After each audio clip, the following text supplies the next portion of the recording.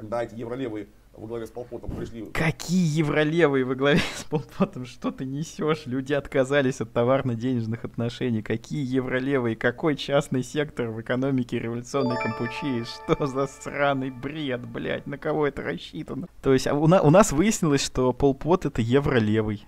Власти в Кампучии вот там вот такие вот были всходы в итоге. Повторю... Какие всходы? Там не было частного сектора. Клим Саныч, ты сказал, что, э, значит, для евролевых характерно извращение марксизма, которое подразумевает наличие э, эклектических идей, сочетание капитализма с коммунизмом и наличие рыночного сектора в экономике.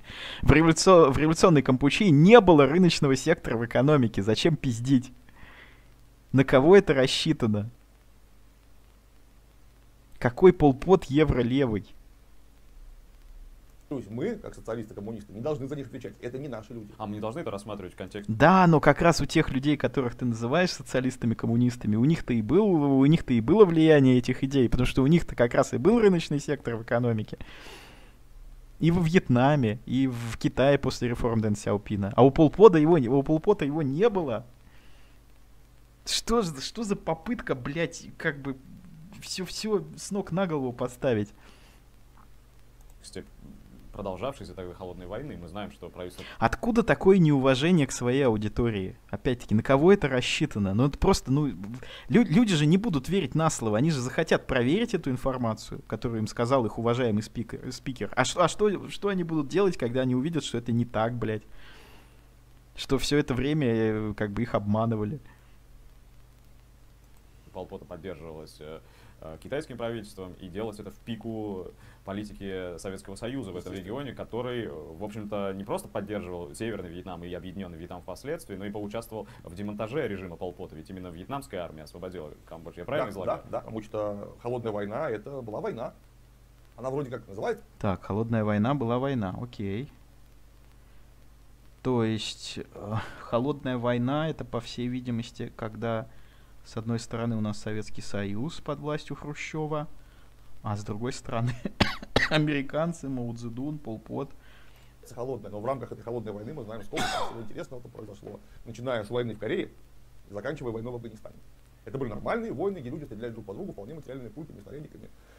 И к этому была подключена а, масса сопутствующих событий, мероприятий, там, начиная с технического обеспечения всего этого, заканчивая вот идеологическим, о чем мы сейчас и говорим. Поэтому, конечно, Полпот это был не только не социалист, это был не социалист, а включенный в вполне конкретную международную обстановку. В орбиту китайского влияния. То есть он капиталист был. Полпот был капиталистом. Полпот строил капитализм в Кампучии.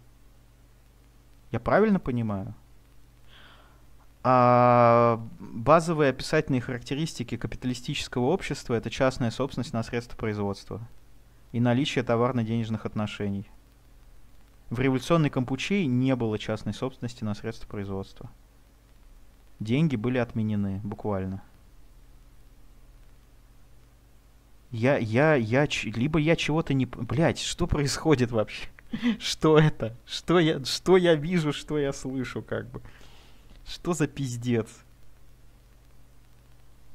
Я не знаю, ну хотя бы можно было троцкистом как-то его объявить, что типа сказать, вот Пол Пот, он не настоящий неправильный марксист, потому что он троцкист. Да, окей, ну, кривое какое-то, да, но все-таки объяснение. Сейчас, сейчас нам говорят, что Пол Пот был евролевый, и у него был рыночный сектор. Ну, блядь, ну, ну зачем? Ложь, она же должна быть, она должна выглядеть хотя бы убедительно как бы если человек врет, он должен же рассчитывать на то, что кто-то поверит в это. Ну, блядь, нафига, Клим Саныч, ну серьезно. Я, я так люблю ваши лекции по истории средневекового оружия. Про викингов там всякое красивое. Ну, ну нахуя вот сейчас, серьезно, ну это ж полный пиздец. Это же порежут просто на хайлайты, на цитаты. Ну зачем же? Конечно. И в данном случае враждебного Советскому Союзу. И мы, повторюсь, должны прекратить вестись на эти манипулятивные приемы наших оппонентов. Какие манипулятивные приемы? Ты ничего не опроверг. Ты инкриминировал Полпоту то, что он был евролевый, и то, что для евролевых характерно верить в сочетание э, капитализма и коммунизма. Но это как раз в экономике Вьетнама был частный сектор, а не у Полпота Клим Саныч, вы перепутали страны. Клим Саныч, проснитесь. Случилось страшное. Мы не должны отвечать за полпота. Если мы, как... Ну да, ну, блядь, почему вы не должны отвечать за полпота? Ну, опиши хотя бы, не знаю, революционную кампучию так, что докажи, что это не, не, не социалистический строй, как бы. Что вот, типа, вот у них там, я не знаю, было это, а вот этого не должно быть в коммунизме, там, поэтому они не настоящие коммунисты. Почему, почему максимально беспредметная хуйня идет? коммунисты отвечаем за полпота, почему бы нам за Рональда Рейгана не ответить или за Никсона? Они были точно такие же коммунисты, как полпот. Один в один. Блять. Ну хорошо, если ты вот какую-то глупость сказал, но ты же должен ее как-то обосновать. То есть Рональд Рейган такой же коммунист, как Пол Пот. Окей, допустим. Аргументируй свою позицию. Ну, в смысле того, что они были максимально от коммунизма удалены, как, в общем, и обсуждаемый нами человек. То, что ты чем-то называешься, не значит, что это есть. Ну что ж, спасибо огромное. В заключение хочу спросить. Да, спасибо огромное, просто прекрасно. Э, мы за кадром это обсуждали, и, по-моему, сошлись э, в том мнении, что, что беседа между единомышленниками... Это... То есть Пол Пот был капиталистом. Человек, который э, обобществил полностью средства производства и отказался от использования денег в экономике, он, оказывается, был капиталистом. Ну, замечательно. Теперь мы знаем все. Это, это здорово, но нашему клубу единомышленников все-таки не хватает конфликта, полемики, дискуссий. А, ты проводишь форумы, и разные другие форумы исторические проходят, они собирают большую аудиторию. Не пора ли включить в общий этот дискурс?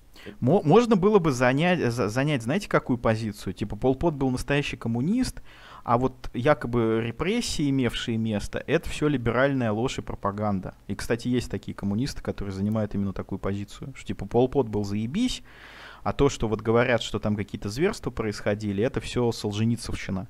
То есть, типа, местные, а, местные камбоджийские Солженицыны, они написали хуйню всякую, все выдумали, и, типа, на самом деле это неправда. На самом деле Полпот был хороший, революционная партия Ангха — это настоящие коммунисты. Просто вот либеральная пропаганда их очернила. Сказала, что, типа, они там людей убивали, а на самом деле они убили не столько, а намного меньше, и вообще это были враги народа, и их никто не убивал, их лишили финансирования, и вообще они сами виноваты, и так далее. То есть можно было бы занять такую. Э, как бы линию аргументации. И это было бы, ну, окей, да, людоедство опять, но, в принципе, привычное для красных дело. Но просто голословно говорить, что там, я не знаю, Рональд Рейган и Пол Пот это одно и то же, и все, поэтому мы вот не считаем Рональда Рейгана коммунистом, поэтому мы и Пол Пота не будем считать коммунистом. Но, блядь, это просто голословная хуйня, ни на чем не основанная. Должны же какие-то аргументы быть, что вот мы берем э, общество революционной Кампучи, мы его раскладываем, мы смотрим, что у них внутри там было. Вот это, это мы не можем считать это социализмом, потому что у них было то-то, то-то, то-то, поэтому Полпот не настоящий коммунист. Все, да, это, это было бы, ну, хотя бы какая-то система аргументации. Но здесь даже этого не было сказано. Элемент полемики, дискуссии между радикальными оппонентами. В том числе с того фланга, вот, что мы сейчас обсуждали почти сейчас. Ну это как ча... С какого фланга, Семин, ты просрал дебаты в админу? Какая дискуссия? Что с ними не так вообще, я пытаюсь понять. Ну что же это такое-то? Что за пиздец? Часть общественной, в том числе пропагандистской жизни, э, дело возможно полезное. Возможно. Я говорю часть, я подчеркиваю, что дискуссия. Пропаганда идеи подразумевает, что ты эти идеи аргументируешь. Ты должен что-то объяснять людям. Недостаточно просто лозунги какие-то накидывать. Полпот не настоящий коммунист, поэтому мы за него не отвечаем. Ну, расшифруй свою позицию, аргументируй ее. между людьми, которые категорически не согласны друг с другом, она имеет очень малую эффективность в смысле пропаганды. Потому что, скорее всего, нужно потратить основное время на выработку теории, на собственную пропаганду, которая будет задавать собственные тренды, с которым потом ну, кто, кто захочет, пускай полемизирует. Это, ты считаешь, это, что такой условный, это, условный батл был бы бесполезен? Это должно идти вместе. Оно может быть полезно как подпорка как некая э, очень яркая, я бы сказал, скорее даже не яркая, а театральная площадка, на которой можно э, дать какому-нибудь опытному бойцу красиво выступить, чтобы просто привлечь к нам больше внимания. Ты бы сам выступил, ты бы сам. Я, Надел- дискуссии, я дискуссии, дискуссии никогда не боюсь, просто я, повторюсь, я последние несколько лет не хочу, не, точнее, не хотел тратить на это время, потому что были другие, гораздо более важные занятия. Но, как некое театральное представление, я этого слова в данном случае совершенно не боюсь, и есть театральное представление, но может нам приковать больше внимания от тех, кто еще не определился. Это же полемика ведется не ради наших радикальных оппонентов, их, скорее всего, ни в чем не удастся переубедить, даже если будут подобраны самые железные, логически неотразимые аргументы. Человек просто обидится и скажет, а, Ну да, ну да, да, да, для, для того, что тут ну желательно, чтобы вообще в принципе были эти железные логические неотразимые аргументы. Я, я напоминаю, что просто, блядь, проповедь своей позиции не является аргументом. Просто сказать, что Полпот это не настоящий коммунист, этого недостаточно. Должны быть действительно какие-то аргументы, блядь, но их нету. Ну, точнее, может быть, они и есть, но мы их не услышали. так вы нехорошие люди. И уйдет, так сказать, в свою скорлупу еще глубже. А вот те, кто не определился, могут о чем-то таком услышать, посмотреть на нас и хотя бы какую-нибудь книжку правильную, черт возьми, взять, почитать. И может быть, это Ну да, но не, не, не только им бы промеш- не помешало бы прочитать какую-нибудь книжку, чтобы не нести чепуху про то, что Полпот был евролевым и был за капитализм. Их переубедит. Поэтому да, как часть пропагандистской работы такого рода батлы могли быть полезны. Повторюсь, не главное, но часть. Огромное спасибо. Опять-таки, если бы я был коммунистом, да, какую бы си- систему аргументации я бы использовал, я бы сказал, что Полпот, он слишком сильно забежал вперед, что Полпот, он типа опередил свое время, он слишком там увлекся, э, там революционная Кампучия не была развитым промышленным обществом, э, а- но при этом он уже там поспешил отказаться от денег, э, начать коммуны строить, это все было преждевременно, что вот эти все изменения в обществе, они должны э, проходить поэтапно.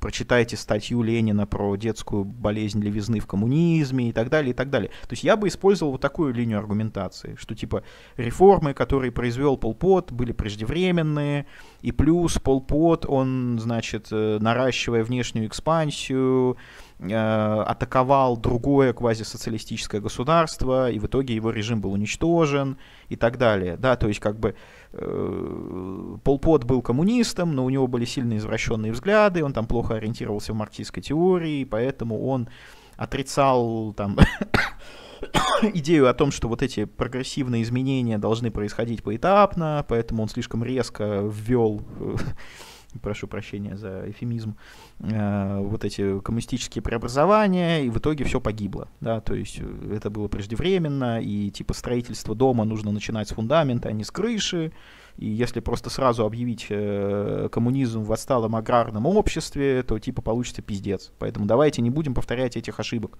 То есть мы должны учесть этот опыт, чтобы не совершать этих ошибок в будущем. Вот если бы я коммуни- комму- был коммунистом, да, я бы занимал такую по- позицию, да, что типа вот Ленин писал про, э, значит, эти самые переги- перегибы, там, да, детскую болезнь левизны, и вот наглядно мы можем это видеть на примере революционной Кампучии, когда люди э, пытались строить коммунизм, в итоге вот получилась хуйня.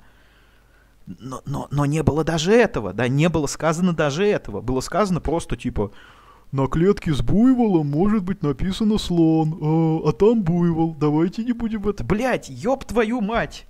Что за неуважение к аудитории? Вы, вы реально думаете... То есть вы, вы для кого ролики записываете? Это что, на дебилов, что ли, рассчитано, которые на эту хуйню поведутся? То есть у меня... Блядь! Ну серьезно, вы... Как? Что за хуйня? Что за некомпетентность? И эти люди говорят про пропаганду. Как правильно вести пропаганду своих идей? Как бы, ну, для того, чтобы вести пропаганду своих идей, нужно, чтобы, блядь, у тебя были идеи какие-то, а не просто, блядь, история про на клетке с буйволом может быть написано слон. Сука, это уровень Геннадия Горина, блядь. У тебя университетское образование. Ты же учился где-то всю жизнь, ты же книжки какие-то читал. Ну, сука, ну как же так-то? Ты пропил, что ли, все мозги свои? То есть как? Ну не, это невозможно просто. Это же, это дискредитирует твои идеи. Лю люди не захотят быть коммунистами после этой хуйни, после они того, как это увидят. Это уровень, это, это уровень Геннадия Горина.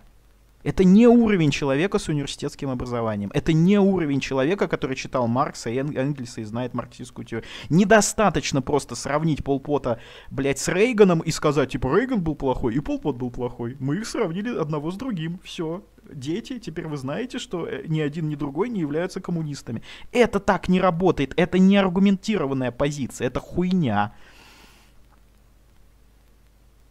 Нельзя, нельзя так заниматься пропагандой. Это плохо, блядь. Не делайте так. Хотя, ладно, продолжайте, делайте. Может быть, ваша скрытая цель это дискредитация коммунистических идей. То есть, какая, какая чудовищная некомпетенция, какой сраный бред. Ладно тебе, Клим Александрович, за время, потраченное на нас. И, выдержав, выдержав паузу, сделаем еще, наверное, не один. Пишет, Ежи не бомбит. Да, я вообще просто... Я не знаю, если б я был коммунистом, да, я смотрел эту хуйню, у меня бы жопа сгорела просто. Заход. Спасибо. Рад видеть. Пишут, для комрадов это нормальная аргументация. Ну, я, я, я, я, я рад очень за этих людей. Совсем, совсем вы не щадите меня. По-моему, все по делу говорит. Да, да, спасибо, спасибо, Рудой. Кстати, когда дебаты? Рудой, что ты, чё ты прячешься от меня? Не ссы давай дебаты. Пошли делать дебаты. Поздно ссать.